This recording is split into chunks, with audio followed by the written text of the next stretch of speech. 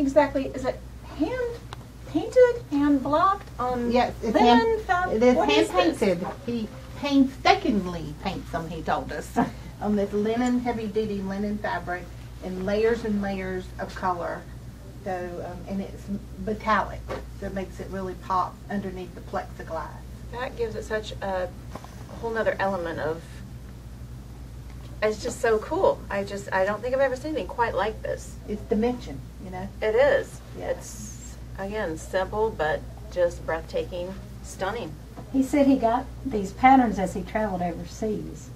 And he restores antique walls in homes in the United States. And so some of these patterns he's found on some of the homes. They look kind of Moroccan or some sort of yeah.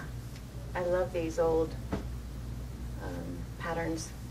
But that standoff of the acrylic against the linen and then the, the metallic is just such great combinations Just a great elements. contrast. Yeah. Oh, and I just Yeah. wanted you to see how great these could look above a bed. Are you ready? I'm ready. Okay, Everybody up.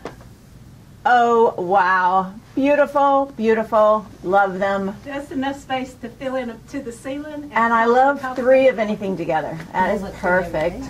Absolutely. I love that, especially with the hands. Will you come do that at my house? Come hold my artwork behind my bed. no. Again, knocked it out of the park, Jen. Just gorgeous. But thank you, Carolyn. Love them. Thank you.